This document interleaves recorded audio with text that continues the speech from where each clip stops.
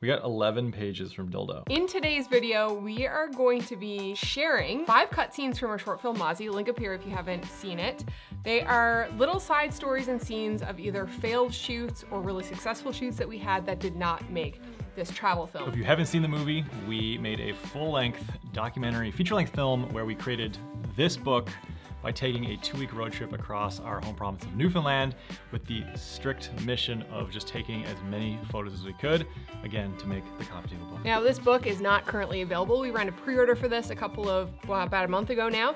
Thank you to everyone who pre-ordered. You blew our goal out of the water, so thanks for that. For those of you who have ordered, I'll give you a quick update. These are currently in production, so hopefully another couple of weeks by the time we get them, then we have to pack them, ship them, so probably I would say early to mid-November before these end up on your doorstep. But we're not talking about the book. Well, we're kind of talking about the book. We're talking about these five stories that we cut out of our short film. The failures. Some unexpected successes that kind of deserved their own little spotlight. On our very first night in Newfoundland, in St. John's, we decided to go out on a little adventure to try and recreate a shot that Chris took in 2006 called The Rift. Was it 2006? The photos lived on Flickr, which was like kind of early social media, but it was only for photographers, so it was mm-hmm. very niche. There was no influence really in what you were shooting. For photographers you followed who you were slightly influenced by, but not to the level of what we see today on Instagram. So we Yeah. were kind of shooting landscapes based on whatever we can kind of come up with in our head and what we were seeing at the time, not mm-hmm. based on what's popular on the internet. because there was no like what's popular on the internet. It was shot at night at dark. You can see there's ice in the foreground. It was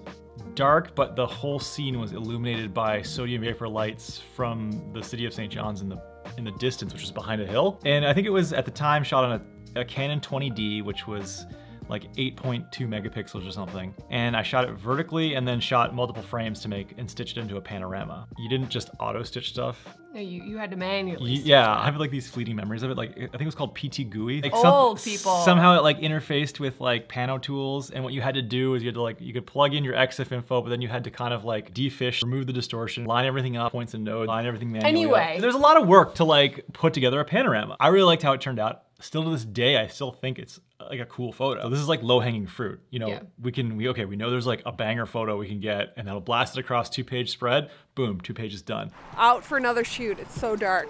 We're at Windsor Lake tonight. It's 9:30. The sun just went down a while ago. We're trying to recreate a shot that Chris took like in 2005, 2006.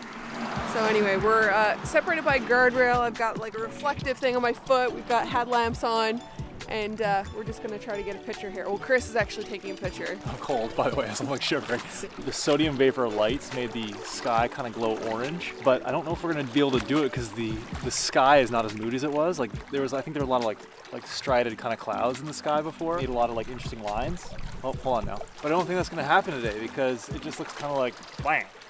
It was also frozen over when we shot that picture. Yes, it was also frozen and it had like ice in the foreground and a bit more of a reflection. But I'm hoping that the uh, slow shutter will just kind of cream out all the waves. It's also funny because at that time I was shooting with an 8 megapixel camera, and this is what like 36 or something. Yeah, something like that. That's, that's actually how much my mind has changed. I used to care so much about the gear. I don't even know how many megapi- megapixels this camera is right now. my wife bought it for me. all right, I think we got the shot. Let's get out of here. Ah! Sorry, I'm blinding you. The wind. Dude, we did this in the dead ass of winter last time. Yeah.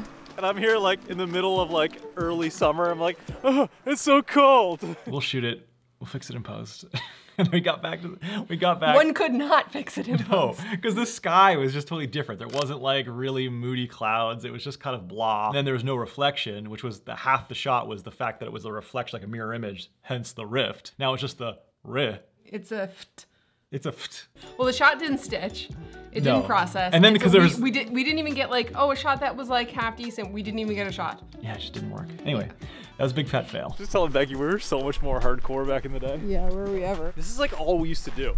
Oh yeah. We just used to go out and just shoot photos. Yeah. Just randomly like stop on the side of the like road. on the side of the road. yeah, like hey, let's just take a photo right here. I think so, at some point we stopped doing that. It's like the novelty of just shooting for the sake of shooting wore off. I think also too because we were doing like commercial jobs and stuff. So when you make your hobby your profession, it kind of changes it a little bit. Like that was a big learning curve for us, right? Yeah. Didn't know anything about photography then. No.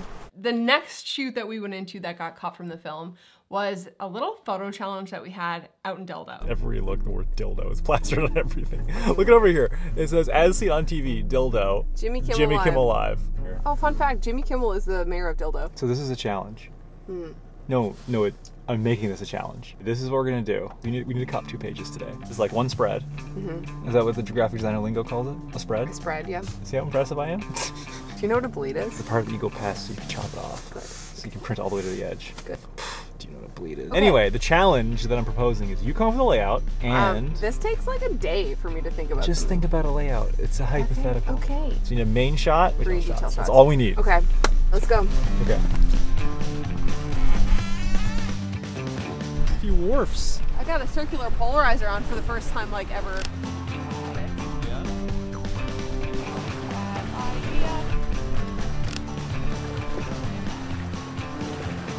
That's a banger! Oh, bang, bang, bang, bang, bang, bang. Scared away the shit tub spot. Sorry, Doves. Banger. Hey, Peckham. Oh, gosh. we look like a state. Let me see your photos. If we get, each you get two photos that are usable, then we have enough for a spread. I got some detail shots of these ropes. Oh, like- that works, yeah. I liked that picture. Perfect. Okay, one. This is fitting. This thing says not a chance. Not a chance you're gonna cough any bangers today. You got two, that's fine. Because you got two shots, I got two shots. Ooh, that's a minimalistic shot. Yeah, I was kind of going for like, uh, yeah, Banger! kind of like that one. It's got yeah, some motion, that, I like got that. the yellow, I think it's neat. It's different. abstract. What you're showing me is not what you see on Instagram, which I'm really into. But the reality of this is, is that I kind of like started shooting photos in 2005, and then I stopped shooting photos pretty much abruptly in like maybe the early 2010s. So I'm just going back and continuing on what I would have shot back like 10 years ago, That's probably a good thing. and I'm so out of touch with what's considered popular That's good. that it's considered original. Okay, let's go back to the place. I think that we forced ourselves to come out. We got a couple of shots. Yeah. That was the challenge. I think that we um, completed the challenge. It's not about capturing the best photo today. It's about capturing the experience that we're having. When we were in the car, you suggested doing a photo challenge, and I think that was absolutely key to the success of that shoot. Otherwise, I don't think we would have gotten a photo from Dildo. Well, I appreciate getting the credit for that. Despite being uncomfortable, despite it being wet, we ended up getting, how many pages did you 12, say? 12 pages. 12 pages from just that photo challenge. We actually made an entire, almost like sub chapter uh, from this excursion here.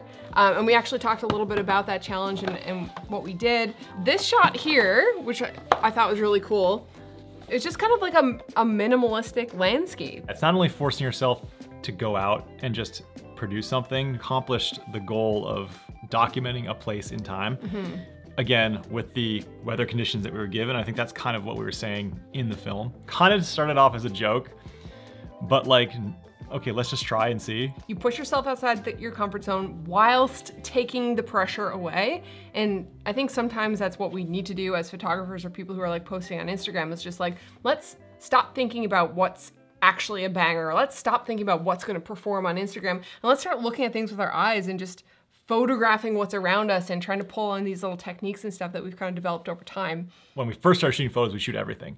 And then like as you gain more experience and like you've got years in the bag, you start actually taking your camera out less and less. And it might be a combination of like the novelty wears off, your threshold for a photo that you think is quote unquote worthy is a lot, the bar's a lot higher. You just end up shooting a lot less. And you also get experience because you know how photos are gonna look before you even take your camera out. Before it was like a lot of experimentation when you're a beginner. Yeah, what happens when I change my shutter speed Right. to this or whatever? Now we now we know. Now we're going into situations where we're like, I know what I'm taking before I even get there. I know the type Right. of shot I'm taking. I know the techniques that I'm going to be using. And certainly when you see the conditions, you're like, okay, I know exactly how the shot's gonna look. Yeah. But that's almost a double-edged sword because it prevents you from taking your camera out altogether because you're like, okay, I know this is gonna not really be a great photo, and I'm just not gonna take my camera out. And then you just lose any opportunity of getting any photos at all. By kind of revisiting, forcing yourself to take your camera out, shoot in the adverse conditions, you might be surprised with what you come away with. One of the places that we went to during our trip that actually didn't make it into the film was Elliston, which we went to go to see the puffin viewing site. We're out tonight, or kind of one opportunity to do a sunset shoot. We're kind of cold and very tired, but we're pushing obviously because we need the shot. Tonight we've come with a limited kit, one camera bag, two telephoto lenses, and we're gonna see what we get. We've been told that there are no puffins tonight. No puffins? No puffins at the puffin viewing site. Get out to the puffin viewing site to see puffins. There's no puffins. No puffins. But we're gonna go out there and see what we can get anyway, and maybe we'll get a few shit dove photos. Wow, what a bust. That was a bit of a bust, wasn't it? Not only is it absolutely freezing out, no puffins. You win some, you lose some. Do you think we got any good landscapes? I don't know, I don't think I got a shot. No! Shooting telephoto is really hard, especially like a 200 to 600. Because it's funny, because like we'll come out and be like, telephoto, and sometimes it's like, yes, this is what I needed. And other times it's like, wow, maybe a 24 to 70 would have been better for this situation. Tomorrow morning we're going to bring gloves. So after our little failed excursion, we didn't even really get any landscapes. Uh, we actually went back the following day. Back at the Puffin Heritage Site. What's it called? The Puffin Puffin viewing area. Puffin Viewing Area. And there are some puffins Becky has. Far away. Becky's identified some puffins, but they're really far away, so. Beck, Beck! Right there on those rocks, right there. False alarm, not a puffin. it's a gannet. a turr? A murre. I don't know birds. They're so small 600 is not quite telephoto enough for this scenario. for this scenario. Like you think that 600 would get it, but for birds, they're so small, right? Teeny little Really thing. challenging. These guys are so small. They're so difficult to shoot. Yeah, I tasked you with that because I wasn't even gonna try. It's like I what- should I shouldn't have even tried because it was a, it was a fail. I was got like- one picture and I had to crop it. only one person can can do this. We talked a lot in the film about how we're not landscape photographers.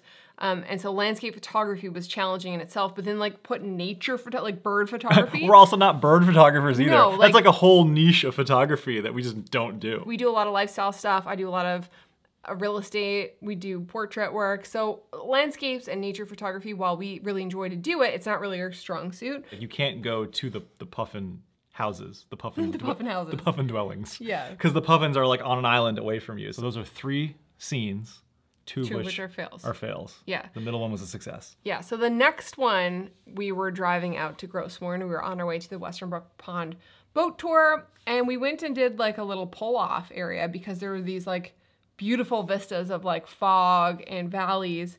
And as we pulled up, this little tiny golden fox came over to say hello. He was so cute. He came so close to the car, I couldn't even see him. There's a landscape there. Hi, There's a lens. buddy. Food for you. Oh no. No worthwhile stop. That was, yeah. I didn't even, I didn't see the fox until we had stopped. I pulled over to like just look at this because this is obviously beautiful. Oh yeah, I didn't even get a shot of that. And as soon as I pulled up, I looked out at the window and I see this golden fox just walk by. Like, almost didn't even see him because he was so close to the car. He was like below the window, and I was like, "Holy shit, a fox!" And Becky's like, "Where?" She could, you couldn't even, you couldn't even see him. Yeah. Because he was so close to the car. I mean, obviously people have been feeding him, which is Yes. you're not supposed to do that. Yeah, a fed animal is a bad animal. yeah. He posed for me, and I went onto the grass, and he just sat in the grass, just kind of looking around. Yeah.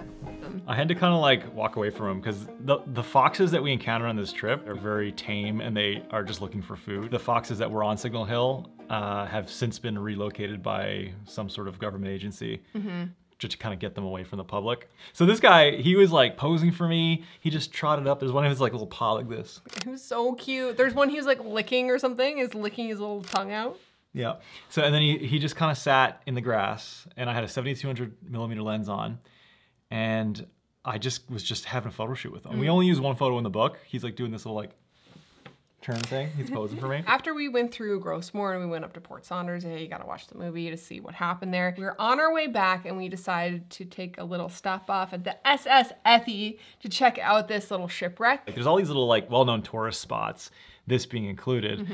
and Especially on that drive, there's a lot of pull-offs like Yeah. lighthouses and look-offs and yeah, and shipwreck. in my opinion, that's like all low-hanging fruit. Yeah, like Newfoundlanders have probably seen all these spots to death, but mm-hmm. It's like Low-hanging fruit. It's like, okay, it's a gimme. It's like if I can take one photo that works out as a spread, boom, two more pages. If we pull up in the parking lot, I go down this little stair, this little staircase to the beach. There's a shipwreck on this beach, and uh, there's this gear that I found in the water, and the waves are kind of splashing over it. But it's uh, it's just a little bit too far offshore. So I'm gonna take one for the team, take my shoes off, freeze my arse off here, and go into the water. Holy shit! Look at the mist here. This is epic.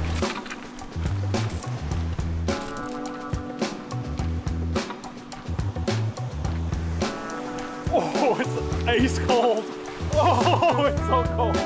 Oh my god, I'm gonna lose toes here. Holy shit. Yeah, usually I can tough stuff out, but man, my I was just losing feeling in my feet. Oh, I'm so cold. I don't, I don't think I even got a shot. Got a little bit too low with the camera and it just basically splashed all over the lens. All right, little probably a bust, but can't say I didn't try.